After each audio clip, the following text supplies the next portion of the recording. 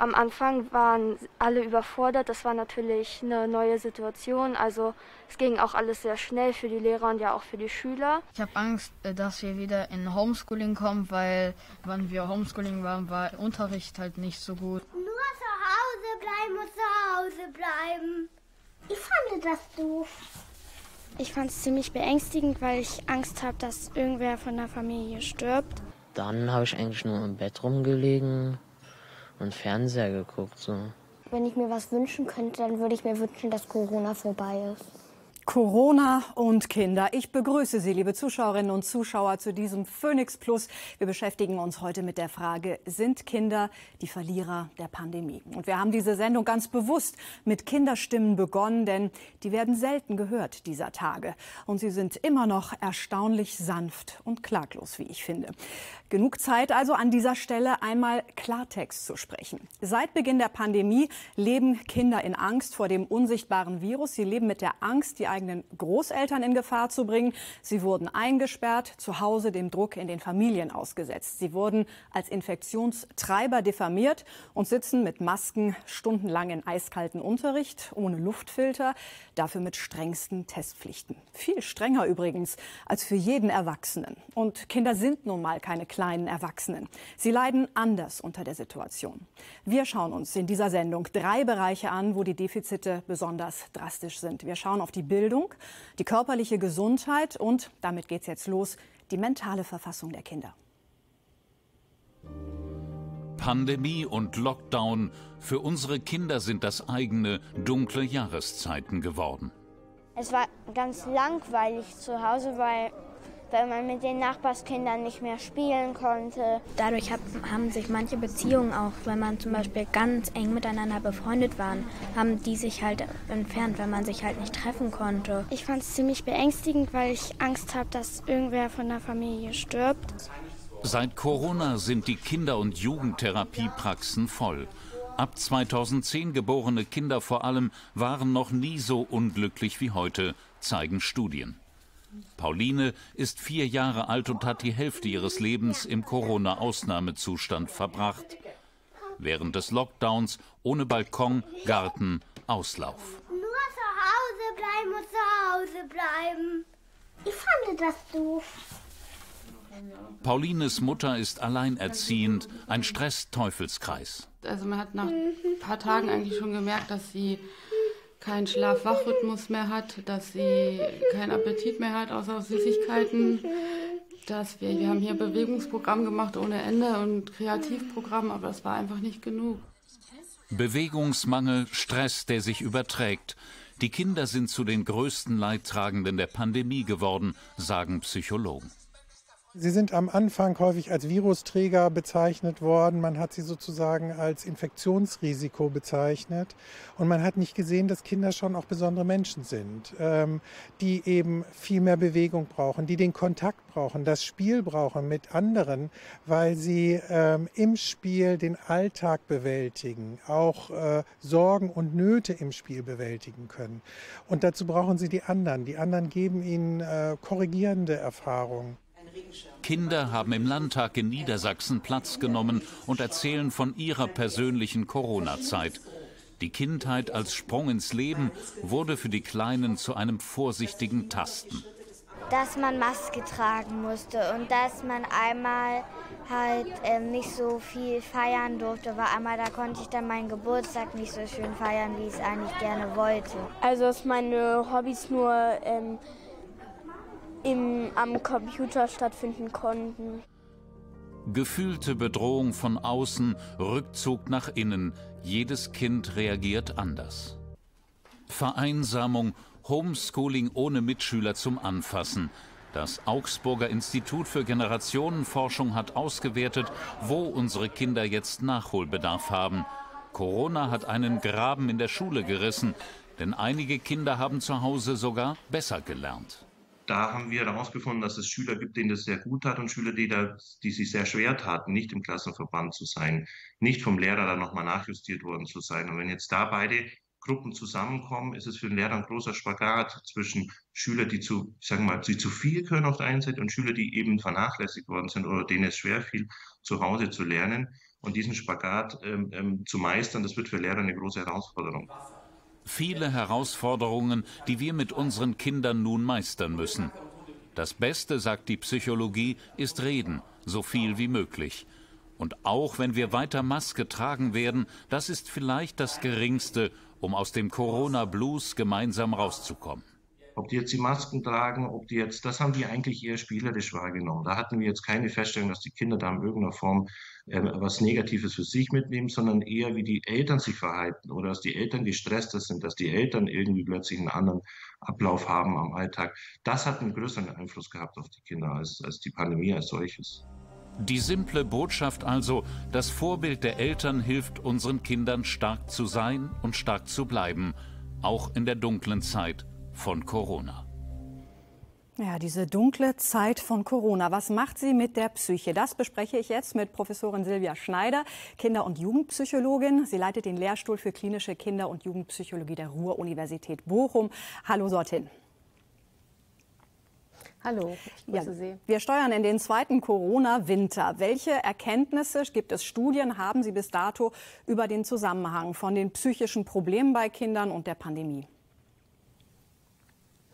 Ja, es wurde ja auch schon äh, im Laufe der Sendung schon angedeutet. Ähm, wir haben hier mit einer Gruppe, mit einer Altersgruppe zu tun, die, glaube ich, während der gesamten Corona-Zeit wirklich vernachlässigt wurde. Und wir haben viel zu wenig geschaut, was passiert eigentlich mit unseren Kindern und Jugendlichen. Aber das wenige Wissen, das wir mittlerweile haben, zeigt sehr, sehr klar, dass unsere Kinder und Jugendliche stark, psychisch stark unter Corona leiden. Und das heißt insbesondere große psychische Belastungen im Sinne von Ängste, die deutlich angestiegen sind, Depressionen, die angestiegen sind. Und je länger das Ganze anhält, umso größer auch der Bedarf an Unterstützung, dass also unsere Kinder und Jugendlichen das mit ihren Familien, mit ihren Eltern auch nicht mehr alleine schaffen zu bewältigen und dass hier mehr und mehr auch professionelle Hilfe vonnöten ist. Mhm. Ähm, Sie haben es angesprochen, wenn man das zu Hause bemerkt als, äh, als Eltern in der Familie. Ähm, wann ist da der Zeitpunkt gekommen, wo man sagen würde, ähm, jetzt hilft Reden, wie es auch im Beitrag empfohlen wurde, eben nicht mehr. Jetzt brauchen wir professionelle Hilfe. Welche Anzeichen, Verhaltensweisen gibt es, die darauf hindeuten? Also insbesondere ist es wichtig zu schauen, inwieweit die Kinder noch in der Lage sind, den normalen Alltag mitzumachen. Und es wurde ja auch eben in dem Beitrag schon gesagt, es gibt Kinder und Jugendliche, die dann komplett zurückfallen und es äh, jeder Tag sozusagen anstrengend ist, sie es nicht mehr schaffen, eine Alltagsroutine aufrechtzuerhalten, nicht mehr aus dem Bett kommen, zu nichts mehr zu motivieren sind. Und wenn das über längere Zeit anhält, dann ist es auf jeden Fall wichtig, da auch professionelle Beratung zu holen und gegebenenfalls auch wirklich ähm, längerfristige ähm, Hilfe in Form zum Beispiel von Psychotherapie. Mhm. Wie geht man dann vor? Meldet man sich zuerst beim Kinderarzt oder wie kommt man an so einen Therapieplatz? Also typischerweise ist es so, dass man ähm, sich im Netz auch informieren kann, dass man da schauen kann, welche psychotherapeutischen Einrichtungen gibt es. Es gibt aber auch Beratungsstellen, die man sich erst einmal auch anschauen kann, wo man hingehen kann. Man kann über den ähm, behandelnden Arzt, Hausarzt oder auch eben Pädiater versuchen, auch Anlaufstellen zu bekommen und sich dort zu melden. Aber wir wissen natürlich auch, dass es einen Riesenbedarf gibt. Wir selber haben hier in unserer großen klinischen Einrichtung natürlich jetzt auch einen Riesenansturm Ansturm von bedürftigen Kindern und Jugendlichen. Und es gibt Wartezeiten. Und das heißt, wir müssen zusätzlich wirklich auch noch etwas ähm, in Bewegung bringen, damit wir Kindern und Jugendlichen zeitgerecht und früh auch helfen können, damit es erst gar nicht so lange anhält, dass die Kinder wirklich ähm, in ähm, Psychotherapie gehen müssen, die über längere Zeit oder Wochen auch dann ähm, anhalten muss. Frau Professor Schneider, wir sprechen gleich noch mal weiter, wie es aussieht oder wie es funktionieren kann, dass man sich Hilfe und Therapie holt. Wollen wir uns jetzt noch einmal anschauen anschauen. Einsamkeit und Angst, die können wirklich krank machen und das kann jeden treffen. Wie sich das anfühlt, wenn plötzlich gar nichts mehr geht, das können wir an einem Beispiel sehen. Der Leo war mutig genug, sich dabei filmen zu lassen fürs Fernsehen. Leo eigentlich ein ganz normaler Junge, bis Corona kam. Leo Richter ist zwölf Jahre alt. Er ist ein guter Schüler, spielt leidenschaftlich Handball, trainiert mit seiner Mannschaft mindestens viermal pro Woche, bis Corona kam. Durch Homeschooling und das ständige Alleinsein entstehen bei Leo Ängste. Er bekommt Bauchschmerzen, wird traurig und völlig antriebslos. Naja, Training ist halt ausgefallen. Man muss halt nicht so früh aufstehen, wie wenn man zur Schule geht. Also habe ich eigentlich so relativ ausgeschlafen, habe dann die Aufgaben gemacht. Dann habe ich eigentlich nur im Bett rumgelegen und Fernseher geguckt. So. Naja, ich wollte halt nicht wirklich raus, weil ich halt Angst hatte, Corona zu bekommen. Damit es ihm besser geht, geht Leo zunächst einmal pro Woche zu einer speziellen Ärztin. Die spricht mit ihm über seine Probleme und Gefühle, versucht Leo Tipps zu geben, um ihn aus seinem Loch zu reißen. Doch weil das nicht reicht, ist er seit gut zwei Wochen in einer Fachklinik in Behandlung. Und Leo ist nicht der Einzige. Viele Kinder und Jugendliche haben mit den Folgen der Pandemie zu kämpfen. Erfolge in der Schule, ähm, positive Zuwendung durch Freunde, Erfolge im Sport, ähm, positive Aktivitäten, all das fällt halt weg. Forschende haben herausgefunden, wegen Corona gibt es mehr Kinder, denen es so geht wie Leo. Bei vielen von ihnen verschwinden die Ängste und traurigen Gedanken auch nicht sofort, nur weil jetzt gerade wieder ein normaleres Leben möglich ist. Leo lernt, was er tun kann, wenn er traurig wird, wie er sich mit Konzentrationsspielen statt Fernsehen ablenken kann und dadurch sogar die Bauchschmerzen verschwinden. Denn Leo hat vor allem einen Wunsch. Ja, mir ist halt wichtig, dass ich so schnell wie es geht quasi meine Probleme beseitigen kann und wieder zum Training kann. Die Hoffnung kann man sehr gut verstehen. Aus Ihrer Erfahrung, Frau Professor Schneider, wie lange dauert es, bis man ein solches Tief überwunden hat? Das kann man schwer wirklich äh, standardisiert für alle Kinder gleich sagen. Wichtig ist erstmal, dass es eine zielgerichtete psychotherapeutische Unterstützung für solche Probleme gibt und da wissen wir, dass äh, zum Beispiel das, was auch schon gesagt wurde, sowas wie Strukturierungshilfe im Alltag, dass ähm, Unterstützung auch gegeben wird, wie ein Kind wieder in eine Struktur mit Aktivität über den Tag hinweg verteilt kommt. Ähm, dazu gehört zum Beispiel auch ähm, Training in Schlafhygiene. Dazu gehört auch der Umgang zum Beispiel mit Medien. Das ist ja alles unter den Corona-Bedingungen in vielen ähm, Familien auch ähm, ein Stück weit aus, ähm, aus dem Ruder geraten. Und da ist es wichtig, hier wieder Ordnung reinzubringen reinzubringen, aber natürlich auch die Ängste, die mit Corona verbunden sind, auch anzusprechen, realistisch einzuordnen und eben auch Handlungsmöglichkeiten zu geben. Wie kann ich eigentlich mit den Sorgen und mit der Bedrohung umgehen und wie kann ich mich auch am besten schützen? Und das gibt mir auch wieder das Gefühl von Kontrolle und Selbstwirksamkeit. Welche politischen Weichen müssten denn gestellt werden, um Kindern und Jugendlichen jetzt ganz konkret zu helfen? Und zweiter Teil der Frage, welche politische Maßnahme bzw. Einschränkung hat Ihrer Meinung nach den größten Schaden angerichtet bislang?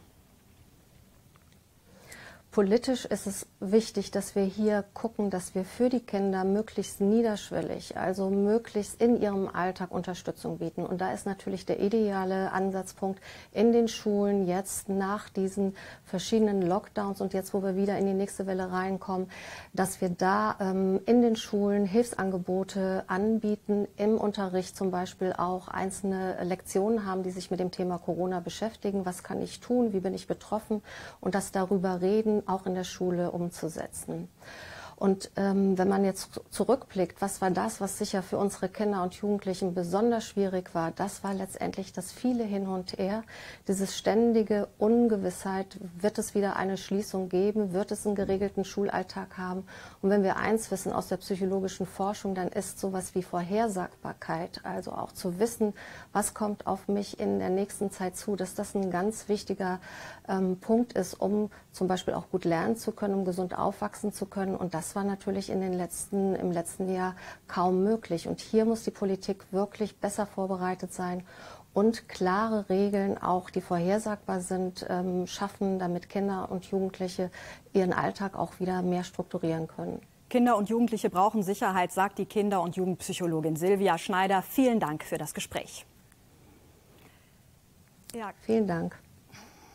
Kinder, sie haben ja keine Wahl. Andere entscheiden für sie. Eltern, LehrerInnen, PolitikerInnen. Allerdings, Kinder haben Rechte. Unter anderem das Recht auf Bildung. Hier hat die Corona-Krise sehr deutliche Mängel offenbart. Marode Schulen, Digitalisierung, Fehlanzeige. Dazu ein träger Verwaltungsapparat, wo Schulschließungen für Montag am Freitagnachmittag mitgeteilt werden. Und während Kinder dann im improvisierten Homeschooling selbstverständlich weiter Leistung erbringen müssen, die benotet werden, denn hier wurde nicht improvisiert, naja, währenddessen hat das politische Management keine Konzepte entwickelt für die Zukunft. Im Gegenteil, man stolpert planlos weiter von Welle zu Welle.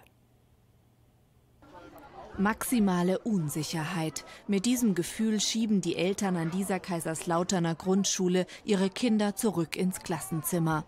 Tag 1 nach den Sommerferien, Monat 17 in der Pandemie. Und doch gleicht es weiter einem Lotteriespiel, wie gut Schulen vorbereitet sind. Knapp drei Millionen Grundschulkinder sind zu jung für eine Impfung, jetzt dem Virus ausgesetzt. Das macht ihre Eltern wütend. Wir sind jetzt in der vierten Welle und die kam weiß Gott nicht überraschend. Und hier hätte man vielleicht doch irgendwo die letzten Wochen und Monate irgendwo vorausarbeiten können. Ich denke, dass also die Politik also kümmern sich um also Wirtschaft mehr wenn doch die nächste Variante hinzukommt, dann kann natürlich die Situation sehr schnell ähm, sich äh, verändern und wir können wirklich vor einem Desaster stehen. Wie riskant ist es, wenn sich reihenweise Schulkinder mit Corona infizieren? An Deutschlands größtem Kinderkrankenhaus am Klinikum Stuttgart war man auf alles vorbereitet, aber es kamen kaum Kinder mit Corona. Von etwa 40.000 kleinen Patienten pro Jahr wurden seit Ausbruch der Pandemie gerade mal 20 Kinder wegen Corona eingeliefert. Im Vergleich mit anderen Atemwegsinfekten, wenn man jetzt schaut, wir hatten 20 Kinder nur wegen Corona stationär. Wir haben normalerweise in den Infektwellen über den Winter mehrere hundert Kinder stationär wegen anderer Atemwegsinfekte. Da muss man also sagen, Corona wird von den Kindern schon sehr gut weggesteckt. Woran das liegt, kann Mitte August ein deutsches Forscherteam erstmals nachweisen. Sie zeigen, dass das kindliche Immunsystem in den oberen Atemwegen deutlich besser mit dem SARS-CoV-2-Virus fertig wird als das von Erwachsenen. Wir haben festgestellt, dass bei den Kindern all die Abwehrmechanismen, die es braucht, um das SARS-CoV-2-Virus effizient zu bekämpfen, quasi schon voraktiviert, schon in Alarmbereitschaft sind. Und damit äh, kann das Virus sich gar nicht ungehemmt vermehren. Und äh, es kommt eben nicht zu diesen langen Krankheitsverläufen, wie wir sie bei Erwachsenen häufig beobachten. Trotzdem, das Virus einfach wüten lassen sei fahrlässig, sagen Kinderinfektiologen. Sie haben die Regierung beraten, einheitliche Quarantäneregeln empfohlen, eine Art Ampelsystem je nach Infektionsgeschehen. Bundesweit umgesetzt wurde nichts. Also ich denke, dass vor der Öffnung der Schulen äh, in den Bundesländern, dass da schon eine einheitliche Regelung hätte getroffen werden müssen. Erst Regelung, dann Öffnung und dann die Kinder sicher in die Schule. Das wäre richtig Schon jetzt verzeichnen Kinderkliniken die erste Erkältungswelle. Was passiert, wenn Atemwegsinfekte und das Coronavirus aufeinandertreffen, unklar. Auch deshalb fordern Mediziner einen Plan. Es gilt zu verhindern, dass sich zu viele Kinder gleichzeitig anstecken. Welche Infekte belasten die Kinder gerade am meisten? Womit stecken sie sich an? Ist das Covid-19? Ist das das RS-Virus, von dem man gerade so viel hört? Fragen wir einen Mann aus der Praxis im doppelten Sinne. Ich begrüße Jakob Maske, Kinderarzt und auch Sprecher des Berufsverbands der Kinder- und Jugendärzte. Ich grüße Sie. Hallo. Ja, womit kommen die Kinder derzeit zu Ihnen? Ja, vor allen Dingen sind das äh, Erkältungsinfekte und die Erkältungsinfekte haben ganz verschiedene Ursachen. Es sind äh, in der Regel Viren und äh, die sind mannigfaltig, ob das jetzt das RS-Virus ist oder ob das andere Viren sind.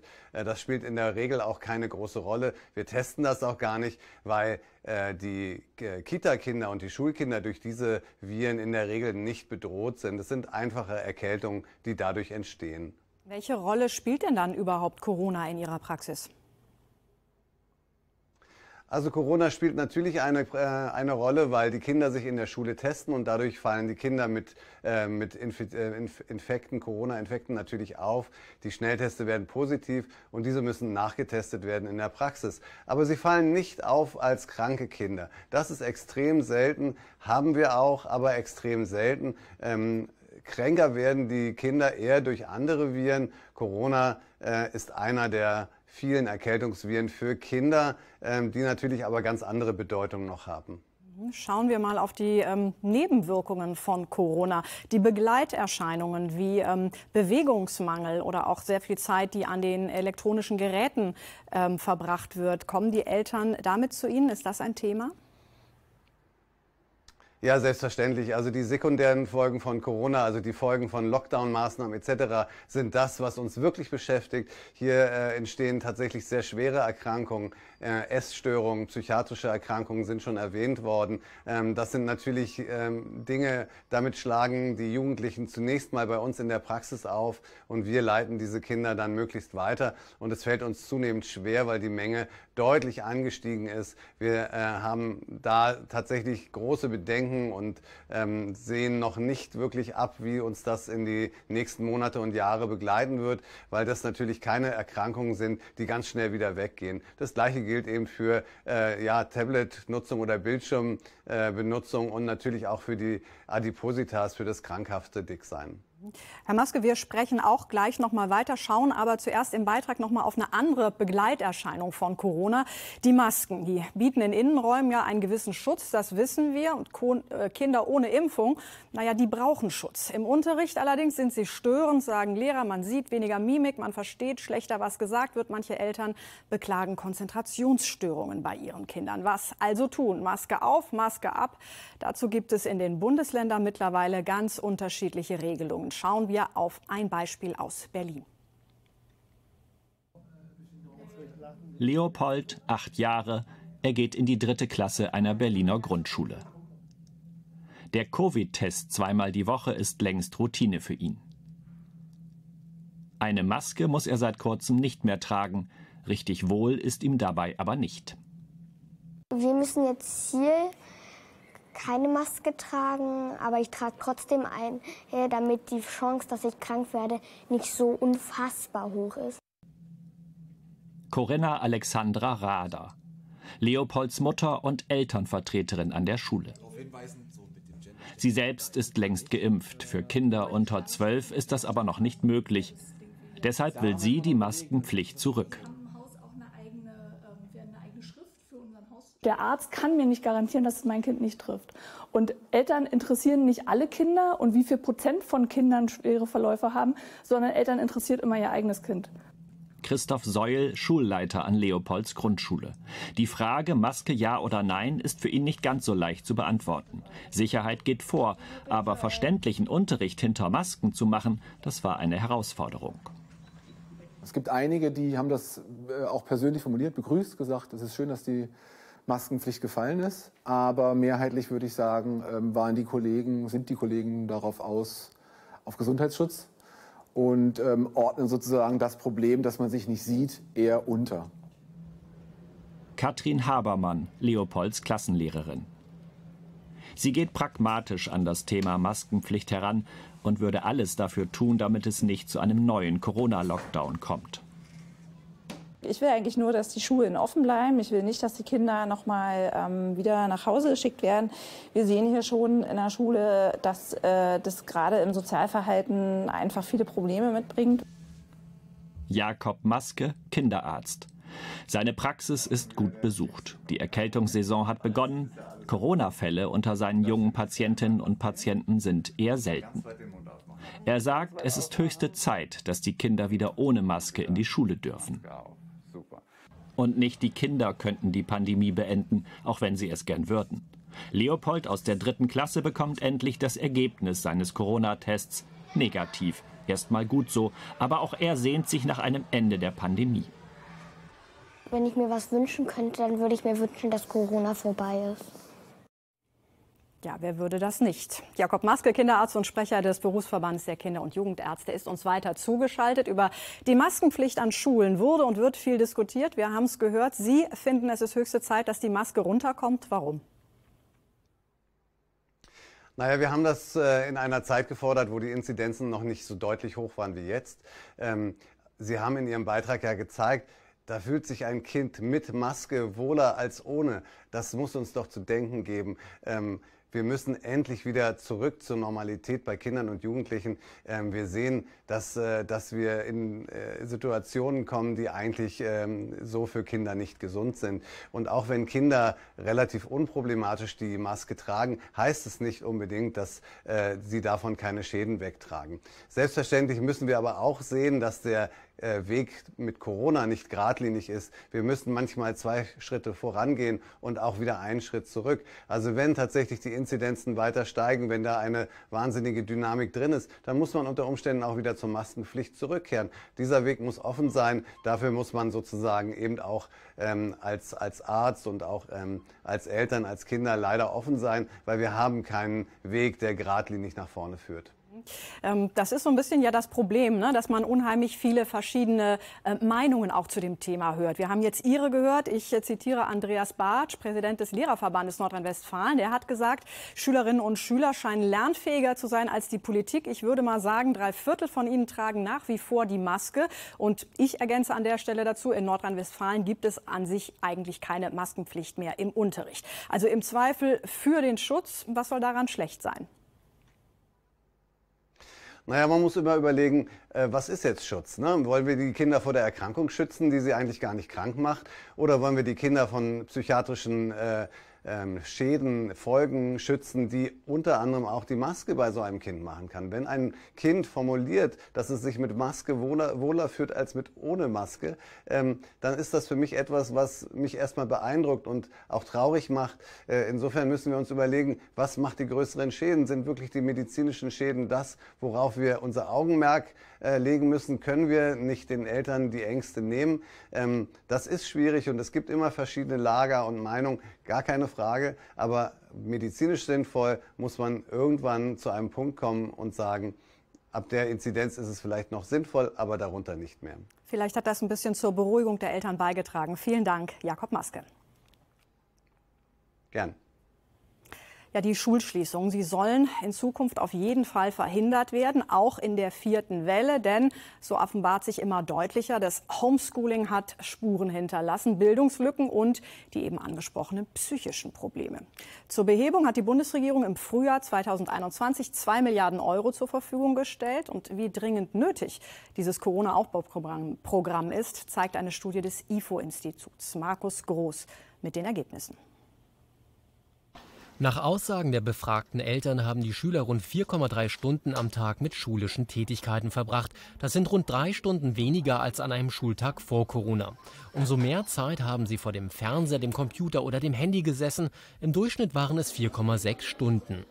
Pro Stunde, das sagen 56 Prozent äh, der Eltern, lernen die Kinder zu Hause doch weniger als in der Schule.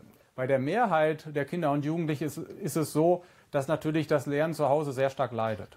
Besonders leistungsschwache Schüler können zu Hause, so die Studie, deutlich weniger effektiv und konzentriert lernen. Es gibt immer noch zu wenig gemeinsamen Videounterricht für die Klassen, so die Kritik. Das digitale Klassenzimmer liegt immer noch in weiter Ferne. Insgesamt ist das schon eher ernüchternd, was wir sehen. Es gibt schon Schulen, die haben sich auf den Weg gemacht und machen jetzt viel mehr. Äh, es gibt aber auch sehr viele, wo das nicht der Fall ist und wo auch gerade zu Hause das Lernen nicht so gut klappt. Um das zu verbessern, müsse die Politik klare Vorgaben für einen flächendeckenden Online-Unterricht liefern.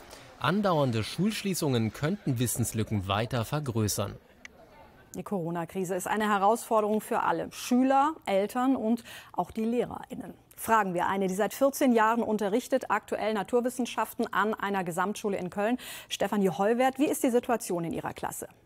Ja, also wir haben äh, an unserer Schule äh, viele Kinder aus recht äh, bildungsfernen Familien, die von zu Hause aus äh, sowieso schon gewisse Nachteile haben, was die Sprache angeht, dass sie also zu Hause nicht Deutsch sprechen, dass sie nicht so viel Unterstützung zu Hause bekommen können, dass sie während des Distanzunterrichtes lange nicht teilnehmen konnten, weil zunächst die Geräte nicht da waren, zum Teil war das Internet nicht äh, ausreichend, in ausreichender Stärke vorhanden.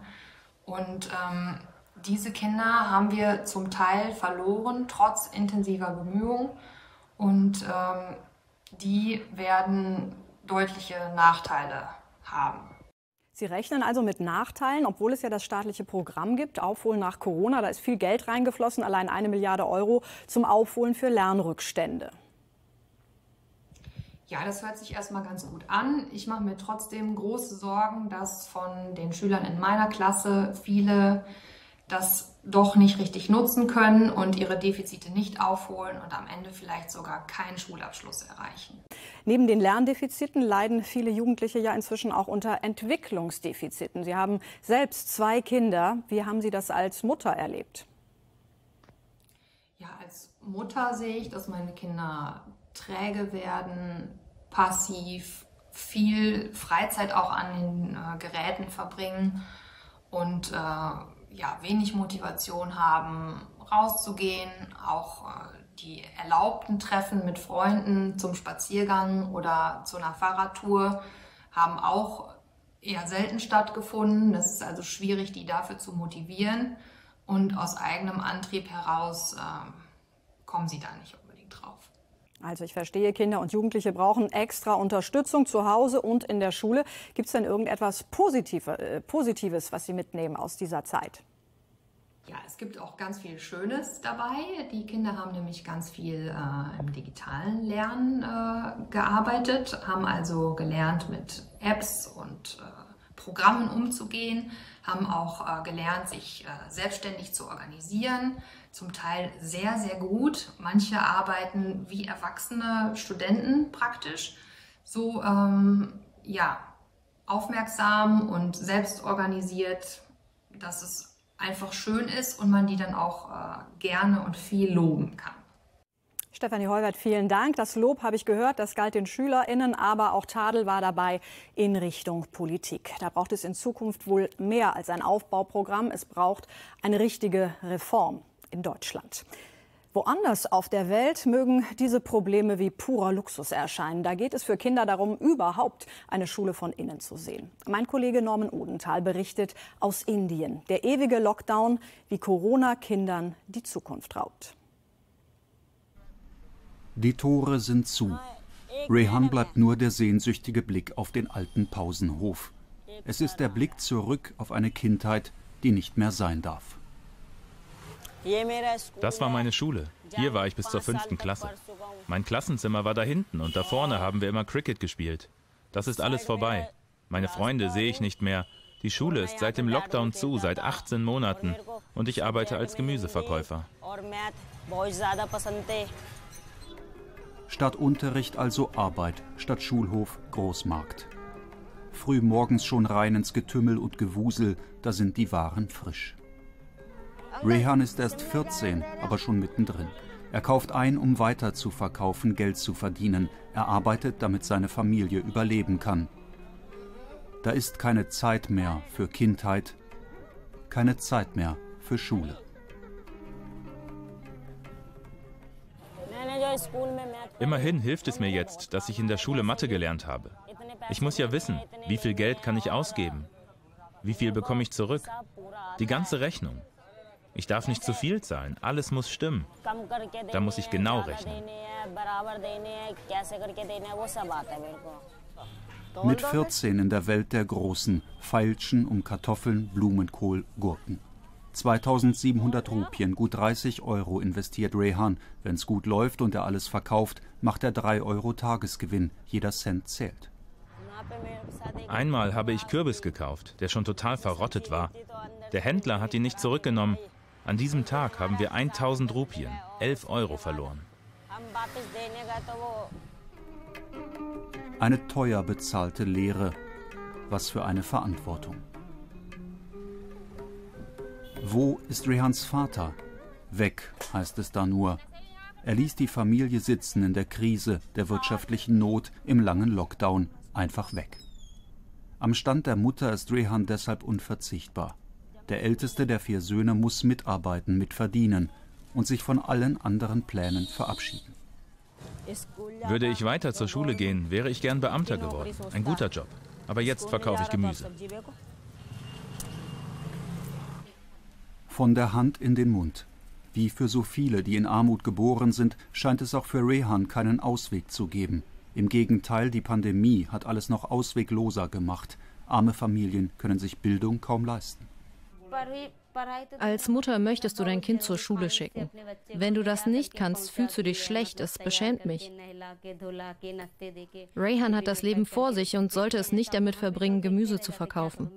Aber selbst wenn die Schule wieder öffnet, wir haben kein Geld für Bücher, Hefte, Stifte. Wir brauchen alles für Miete, fürs Essen.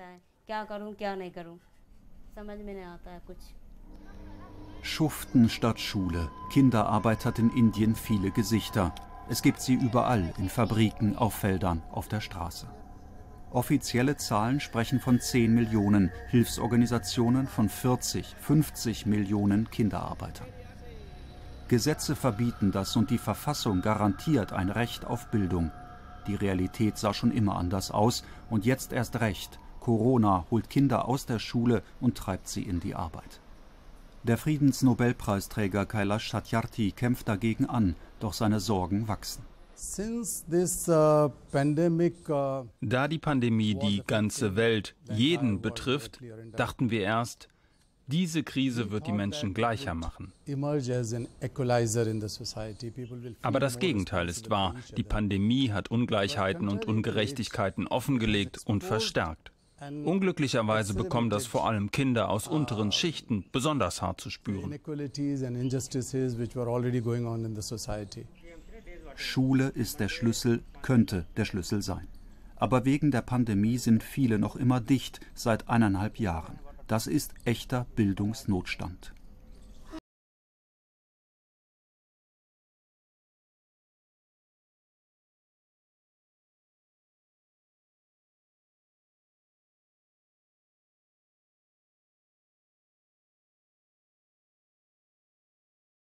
Nicht zur Schule kommen können, kommt die Schule eben zu den Kindern. So gibt es endlich wieder Unterricht, aber es ist mühsam. Viele haben vergessen, was sie mal gelernt hatten vor Corona, vor dem Schullockdown.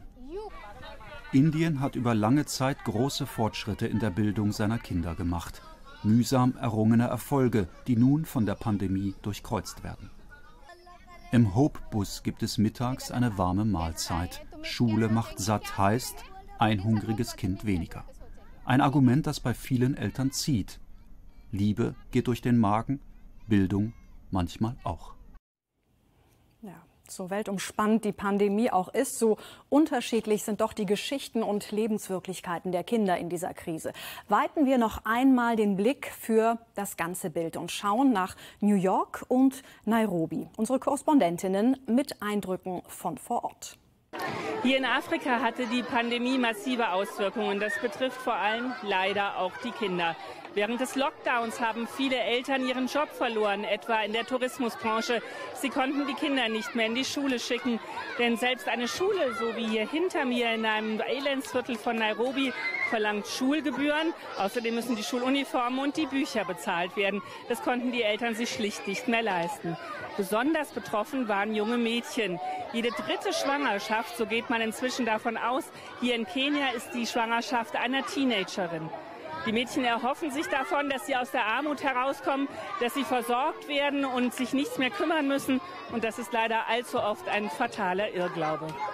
Auch die sexualisierte Gewalt hat zugenommen, besonders die innerhalb der Familien in diesen beengten Verhältnissen. Man kann sich vorstellen, dass die Aggression da zunimmt. Die Familien haben die Mädchen in die Zwangsprostitution geschickt, um sich eine zusätzliche Nahrungsquelle zu erschließen, beziehungsweise eine Geldquelle. Die Mädchen wurden zwangs- oder früh verheiratet, damit man sie als Kostenfaktor in der eigenen Familie buchstäblich los wird. Und was besonders bitter war, gerade während des Lockdowns, als die Schulen hier auch geschlossen waren, waren auch die Anlaufstellen für solche Kinder und Jugendliche geschlossen, sodass sie niemanden hatten, den, an den sie sich in der Not wenden konnten.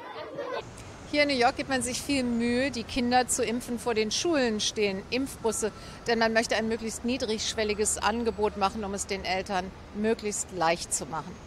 Die Kinder haben hier während Corona stark gelitten. Viele von ihnen haben einen Elternteil verloren, manche auch Großeltern. Insgesamt geht man davon aus, in New York City und in ganz Amerika, dass es etwa 170.000 Covid-Weise gibt.